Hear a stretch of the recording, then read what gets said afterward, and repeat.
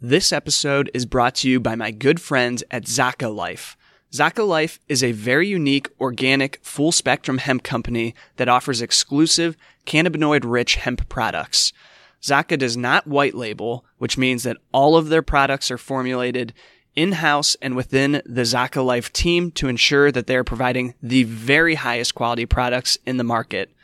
We're all starting to hear about the benefits of CBD oil, but really, CBD isolate is actually not the best therapeutic index for the human body. You see, Zaka Life's full spectrum hemp extract offers the original cannabinoids, terpenes, and flavonoids, allowing you to benefit from the full entourage effect that Mother Nature intended. I interviewed Zaka Life's founder, Cole Stegman, back on episode 38. You guys got to check that episode out to hear their full story and the passion and quality that the company is all about. But you can check them out at zakalife.com. And if you use promo code mastermind10 at checkout, you'll get 10% off your purchase. Check them out, guys. They've got some great products. I've used them and I think you will enjoy them too. In about a month or so, I'm going to be sharing a video workshop about the most important things you can do right now to start laying the foundation for your future success. These are based on the lessons I've learned from my mentors, podcast guests, and entrepreneurs that I've studied. It's going to be completely free, but it's only going to be available for a limited amount of time. So to stay in the loop and to get access when it's up, make sure you are a subscriber to my email newsletter. And as bonus, you'll receive my monthly update, Millennial Monthly, as well as any of the other insightful resources that I'm sharing throughout the month. So to subscribe, just head over to millennialmm.com forward slash join, and we'll see you there. That's what it's about. It's about creating a life, not when you, you know, in quotes, retire, a word I don't believe in, but, uh, but right now, this year, this month, this day. And you don't have to be rich to live rich. That you don't have to have a lot more money than you do today to have a lot more life than you do today. In fact, what most people who experience a great increase in wealth, uh, in income, do not end up wealthier. You, you, tend to think if your income goes up, your riches will go up, your wealth will go up. And typically it's not the case because people bring their bad habits with them.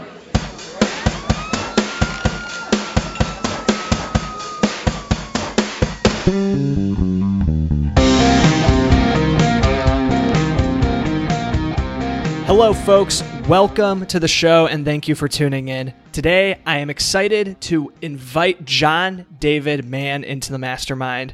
John David Mann first garnered international recognition as an author with his award winning parable, The Go Giver, which was co authored by Bob Burg, who was also a former guest on this show. And for those of you who may have listened to my previous chat with John back on episode 75, you know that that book holds a special place in my heart. It was one of the first personal development and, and professional books that I read that really stuck me, stuck with me and drew me in and put me on this path to self development that has led to so many other things, including this very podcast. That book has gone on to sell nearly a million copies and he's now releasing his new book, The Latte Factor, which is John's 30th book and is actually coming out today, the day that this episode is published. This one was co-authored with legendary finance expert David Bach and is already receiving praise from people like Tony Robbins and Simon Sinek, just to give a little glimpse at the caliber of this book. In addition to his accomplished career as an author, John has also been a concert cellist, award winning composer, founder of a high school, educator, a publisher, entrepreneur, marketer, and public speaker. So, John, welcome back to the show. Pumped to have you here today. It's my pleasure to be here. Thank you, Brad.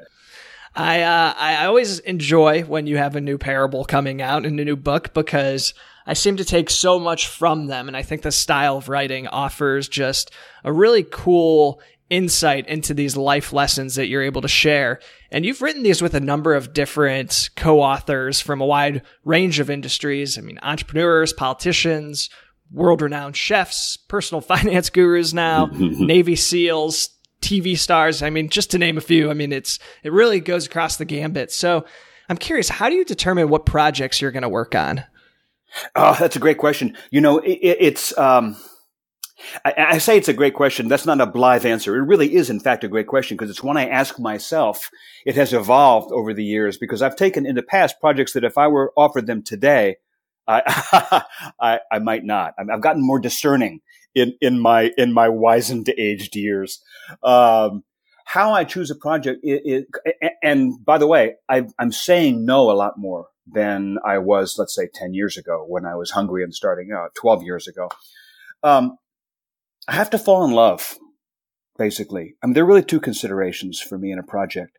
Um, number one, it ha- I really have to believe in its its marketability, just to be practical, pragmatic. I mean, writing is my livelihood as well as my passion. This is how I feed my family. This is how I'm building our retirement. This is like it's important to me that the thing works financially. So, number one, I have to really believe that a given book is going to be marketable and that the platform of the author I'm working with is going to be powerful and productive and effective.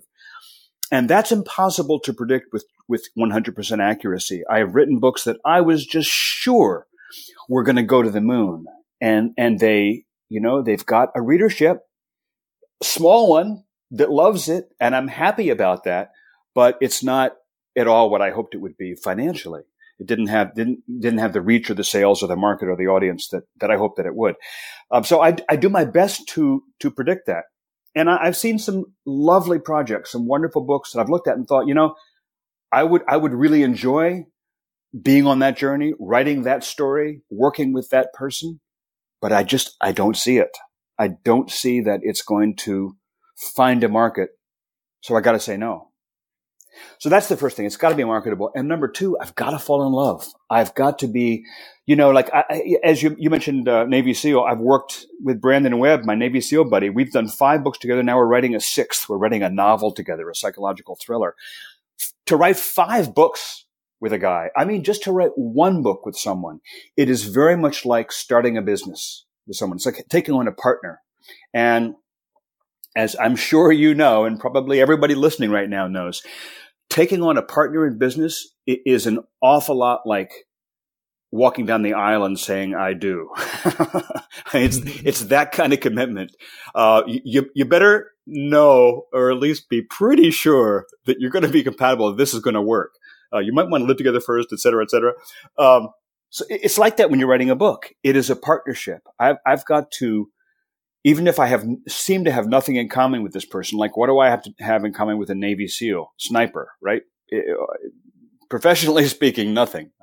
But there's got to be a sync of values, a click of character. There's got to be a, a sense that I I could love stepping into that person's life and perspective, getting behind their eyeballs and living there for the six months or nine months or 12 months it takes me to write that book. And, and you know, and maybe more books beyond in the case of Bob Burg or Brandon Webb and so forth. So yeah. Yeah, that that's I, I love that answer, and I think that something that really sticks out to me is the fact that looking back, you might not take the same types of projects you took in the beginning yes. today, knowing what you know today and with the experience. Um, but do you feel that those were a necessary part of your journey? That not having taken some of those different projects on I do. Um, would do. not have gotten you to where you are today.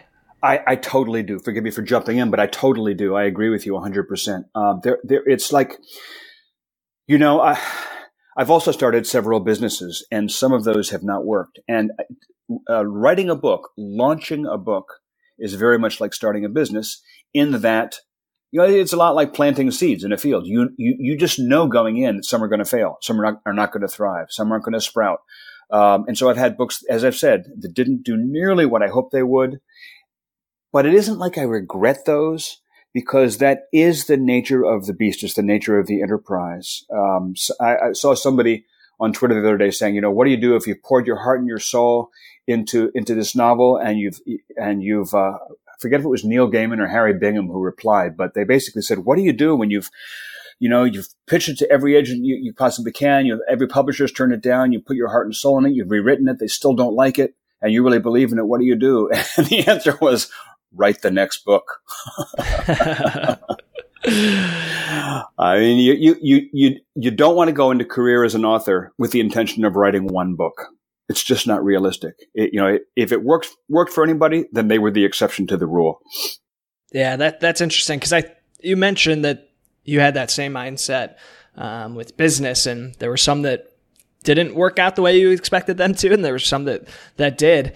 Yes. And I think that's an important lesson just for the listeners of this show and for myself because a lot of times, especially when you're starting your first business, you look at that as the end all be all. And if that doesn't succeed, then, yes. you know, sh- shit hit the fan and now you're in trouble. But you got it. really, that's not, there, there are going to be other opportunities you still have the ability to go out and create other excellent businesses, even if that first one's not a home run. So, you know, this might that. sound odd, but to, to, put it in this context, but I, have been married three times. I'm in my third marriage now.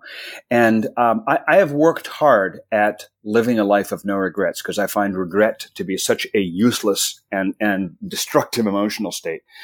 Um, my first two marriages just just blew up. You know, looking back, I so clearly see why they weren't meant to be and why they didn't work and why they blew up. The marriage I'm in right now, I've been in for 20 years. I am deliriously happy. It's just like, oh my God, I can't believe that life can be like this. But I honestly wonder whether or not I really could have, have had the life I have now with, with Anna, with my, my best friend in the world I wonder if I really could have had that the way it is if I hadn't learned what I'd learned from those first two marriages. So I, th- there was a lot of suffering involved in those, but I can't honestly say I regret them because they really did bring me to, to where I am. Yep, it's all part of the master plan, even though we can't always see what that master plan looks like at the beginning. yeah, yeah. Uh, so, talking about this this new book, how did you first get connected with David Bach, and where did this idea stem from to write this book? And you know, so many books have come from the seed came through this sort of circuitous route that I could never have planned. Um, I, some books I've written, I have an agent, literary agent, and some books she's just come to me and said, "Hey, we got this guy. He wants to write write this book. He needs a writer. Can you do it?" Blah. It's very straightforward. But at least half the books I've done haven't come that way. They've come through, like I said, some completely unpredictable path, uh, which has told me a lot about the value of just putting out good seeds into the world because you never know. So in this case, how the latte factor happened, you know, the, the Go Giver, which you mentioned was one of my first books. It was, um, the first book I wrote, I co-wrote with somebody, with Bob, and it was the second book that actually got published. And this is back in 2007 when I was nobody, beginning of my career. Um, at the time, I had worked for years at doing interviews for magazines and as an editor for magazines. So I had to interview David Bach for this business magazine. And I'd really liked the guy. I knew him as a, by reputation as a personal finance guy. So I figured money, strategy, tactics, you know, very uh, uh, black and white, cut and dried, cool as a cucumber. It's like, it's dollars and cents and money and strategy. And how exciting can this be? And I interviewed him and I was amazed. Uh, his philosophy, his approach. He said to me in the interview, he said, uh, John, my view is that everybody on this planet was put here for a unique purpose that only they can fulfill, that we're all here for some reason. And that the tragedy is that most of us aren't fulfilling that, that life because we're spending too much time chasing down a paycheck. We're leasing and loaning our lives rather than owning our lives. And my mission is to help free millions of people up to be able to do what they were put here to do. And I thought, damn. That's not just like, okay, interest rates and how savings and, and 401ks. I mean, this guy has a, like a life mission that I can totally get behind. So Go Giver comes out. Bob and I are writing to everybody we know to try to get endorsements for the book. And David uh, very graciously agreed to do an endorsement. At the time, David was like Elvis. He was already number one New York Times bestseller, The Automatic Millionaire. He launched live on the Oprah show in, in, the, in January of the, of the, year. It was a, you know, he was already a phenom and I was nobody. So I was really gra- uh, grateful that he, he gave us a, a blurb for the book. In fact, we put his blurb in the cover of the first edition. And you won't see it if you look there today because that was, we got a new edition. But back in 2008, when the book came out, David had this amazing quote in the cover that I believe was instrumental in helping the book find its legs in the marketplace. So a few months later, he contacted me and said, I've written all these books about finance and people who read them love them, but a lot more people never read them because the majority of people are never going to pick up a nice fat book on personal finance. They just don't read books. I'm watching The Go Giver and people who don't read books are reading it and they're loving it and they're getting it. I want to do a book like that about my stuff. You want to do it with me? And I was like, hmm, let me check my calendar. yeah, of course I do. Um, so that's how it started in 2008. And then the economy collapsed and David got frantically involved in other projects and I got involved with other books and it just never happened. Um, and then finally, one day, a couple years ago, David was sitting with Paulo Coelho, the author of The Alchemist. Um, I think The Alchemist might be on more people's my favorite book list than any other book on the planet, just about. For sure. And uh, he and uh, the two got together because David had helped Paulo to promote a book in the U.S. and they were they had a long evening of of eating and talking and, if I understand, a little bit of drinking or maybe more than a little bit. And, and at one point, um, you know, David Paulo asked David what he was doing, and he told him that he, he was doing this and this and this, and he'd always wanted to write this book. But curiously, Brad, I didn't mention this, but originally when David and I started talking, he went to his publisher and said, "Hey, I want to write this parable." And the publisher said, "Ah, no, don't don't even don't even bother. People don't parables don't work." He couldn't get his publisher interested, so he told Paulo, and Paulo said, "David, you have to do this." And here's this interesting principle: sometimes you hear a truth that you've already heard 25 times before, but because of the person you're hearing it from and the circumstance, for some reason it clicks. You get it. And um, that, by the way, happens in the latte factor. The the hero of this of the book, Zoe, is hearing all these things from her mentor, and she's and they're probably things that the readers of the book have also heard. And she's hearing it, she's taking it in, but she's not really getting it. It doesn't really click until somebody very close to her has a conversation that's that's emotional and meaningful, and she goes, "Oh my God, I get this." In any case, David David clicked and said, crap, I got to write that book. So he contacted me again and said, Hey, it's time. And so we finally did it. Took a decade. yeah. Well, it's an interesting journey. And, and one of the funny things that I pulled from that is you're talking about how early on he was talking with you about how he believes that everybody has their their purpose and it's it's their journey to fill that and The Alchemist is definitely on my list, uh, like it is of many others, as one of those top books that I just love to reread. Yeah. And that concept is present in that book, and they call it your personal legend and living your personal legend. Yes. So it's it's really fascinating that there's the intersection of really the same idea that you see uh, from David, but then also from Paulo, yeah. and they and they run in intersect that, in their paths. I love that. I know it's so cool. I just love that. And you know, I didn't even know the Paulo story until David and I were already knee deep in the process of the book. And, and, you know, here's the thing: people ask me about Latte Factor. What you know, what am I going to learn if I read this book? And obviously, I don't want to. I don't want to give it away, so I don't tell people, the, you know, what exactly was in it. And it's not that I'm being coy. But it's that uh, people will get it better if they read the story than if you just say, well, here's the principles, one, two, three. Um, but you know, ostensibly it's a book about how, how this character, Zoe, learns how to stop living paycheck to paycheck and learns how to start to basically fund and finance living her dream life. And, you know, on the, on the salary that she has and in the life that she has.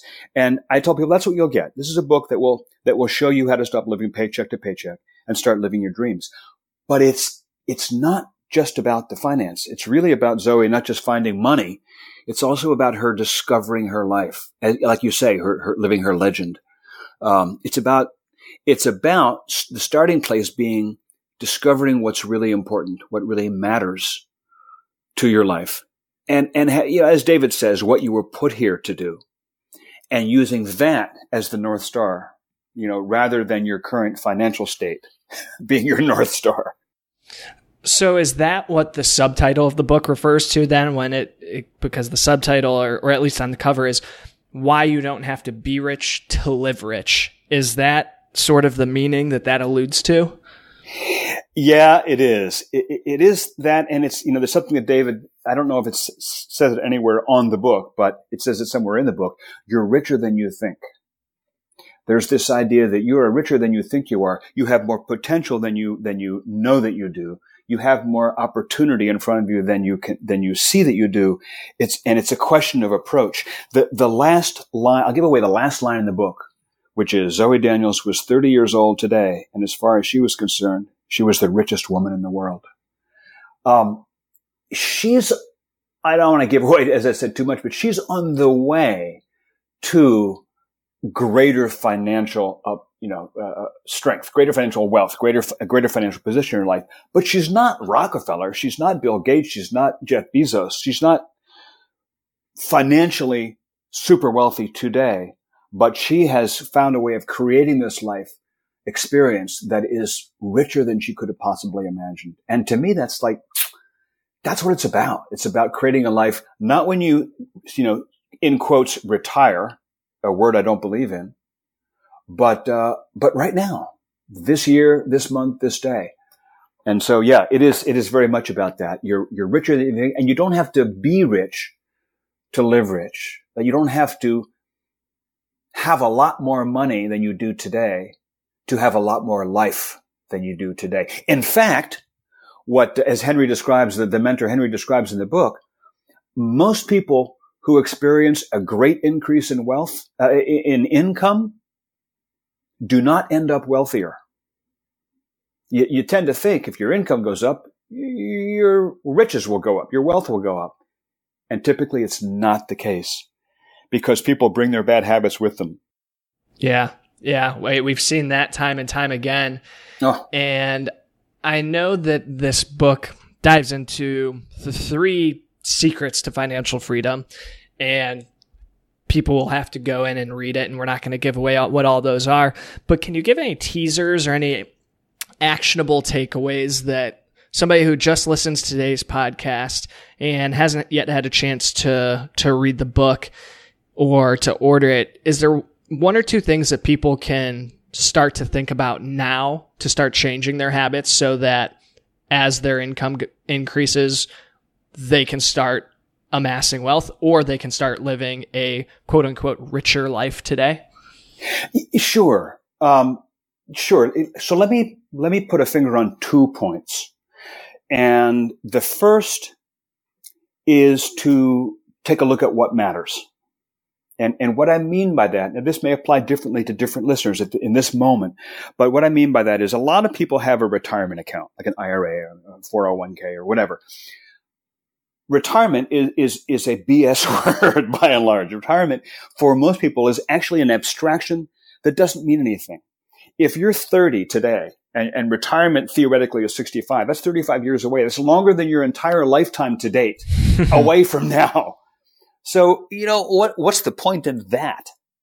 Um, you know, one reason that for decades I never saved a penny, I never really managed my, fi- my finances in any forward looking way, what was that I didn't have a concrete picture of anything worth funding. It's like, so when I say know what matters, what is it you would like to be doing that you're not doing today because of finance, because of funding?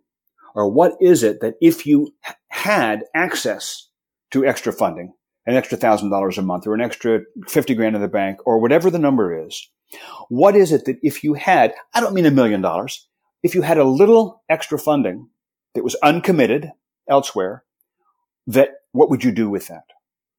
What's important? What is it you'd like to have that you don't have now? And I don't mean something ridiculous um, like a house 10 times bigger than the one you have now, or five Teslas. What is it that realistically you'd like to add into your life that isn't there today that you, in fact, that you would add in your life if the time and the money were available? So that's number one.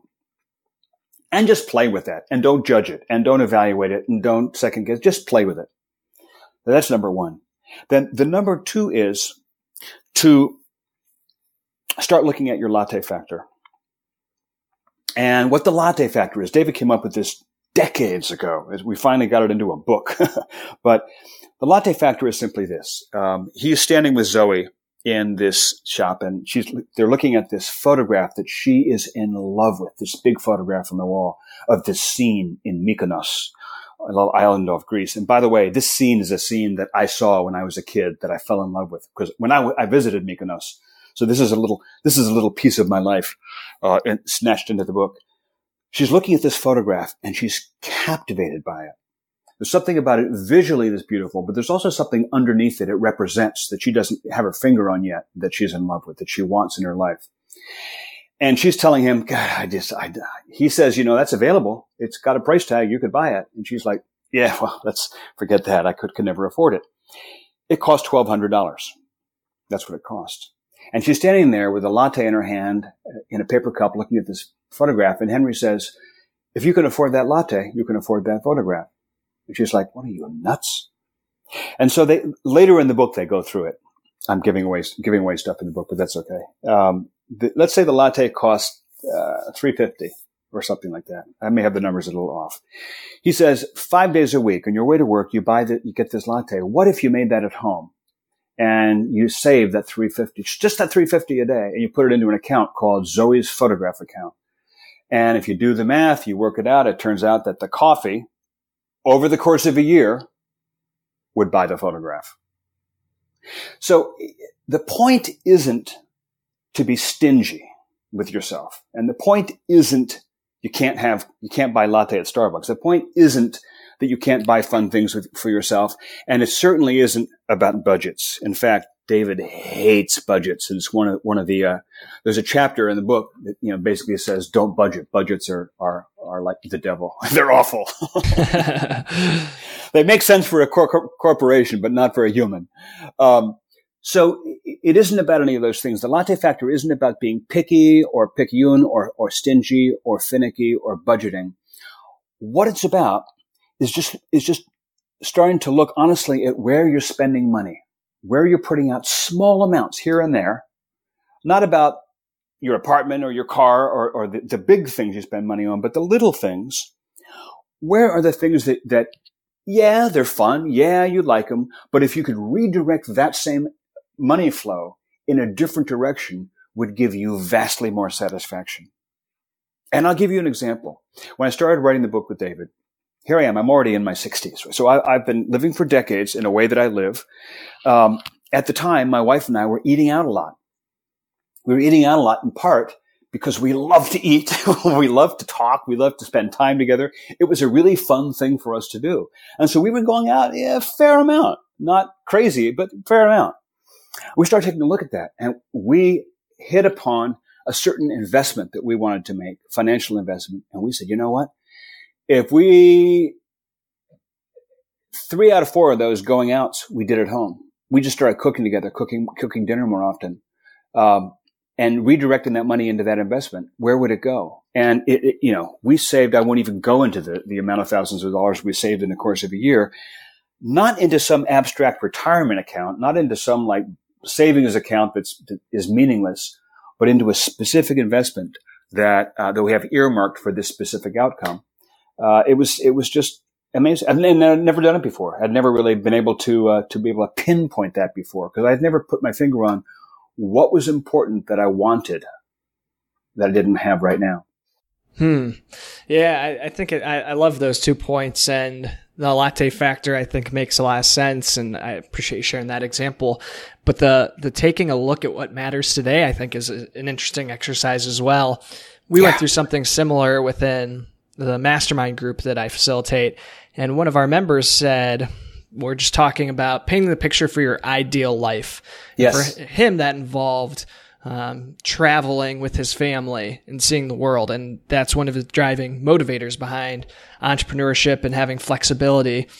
And we started really thinking about it and going deeper into that and realized that with his PTO and by saving money in a certain way, he could start to take these annual trips with his wife and his child and start living that dream. It doesn't have to be necessarily some oh, future reality. Maybe, yes, those trips get more uh, intense and further away and longer over time, but there are ways often that we can start to live the things that we dream about. So yes. it just takes a little creativity with how you're going to make that happen. So I, I, like that you share that.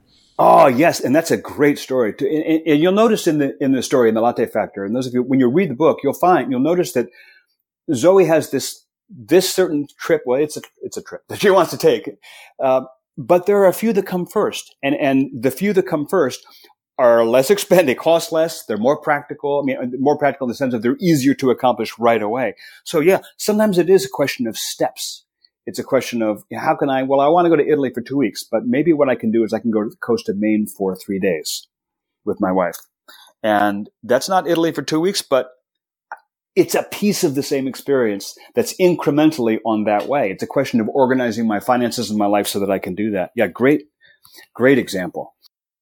So, on this track of having now, this is what your 30th book.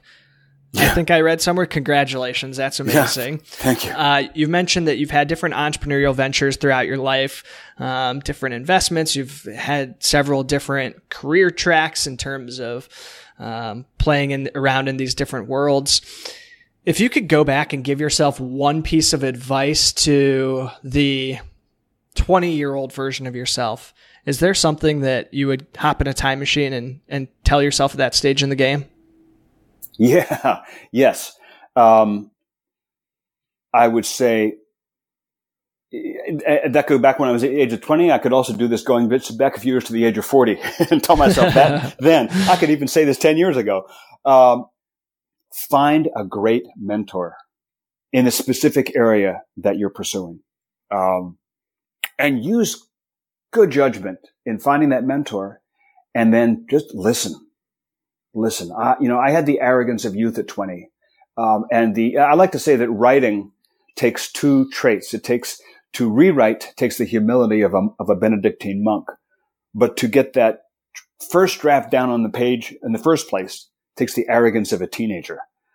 And I think starting a business is like that. You have to have a certain arrogance almost. You have to have a certain certainty. You have to have a certain ability to shut out the world and not listen to anybody and just follow your own instinct, your own gut, because, you know, this is your idea. You can't let anybody ruin it or, or, or step on it.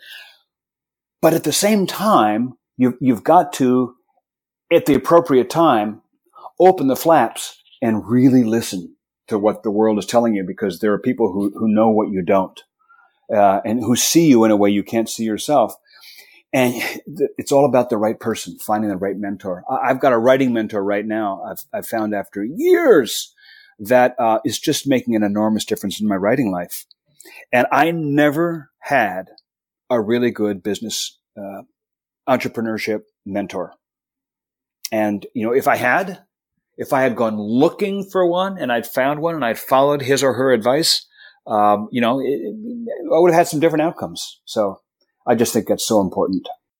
Yeah, that's that's beautiful advice. So I know people are going to be interested in checking out the book and learning more about yourself. Is there anywhere you'd point them online to learn more? Uh, sure. I mean, the book itself is going to be everywhere. Today, it's you know from Amazon to to the corner bookshop. But um, in terms of, it's also on my website, and my website is where you'll find everything about all, all my books. Um, you can not only see every book, but get, uh, download sample chapters, read excerpts, read reviews. Um, and also my blog is there, uh, which I haven't written in for a year and a half, but by the time this is airing, I should be. um, so it's all there at my website, which is just my name, John David Mann, M-A-N-N dot com. Awesome. Well, John, thank you so much for stopping by today, sharing what you've been up to with David, and I'm excited to uh, share this with the world. And hopefully, this this book has a, a massive impact, like some of your previous ones have had on me in the past. So, thanks for being here. All right, great experience. Thank you so much, Brad. Love it.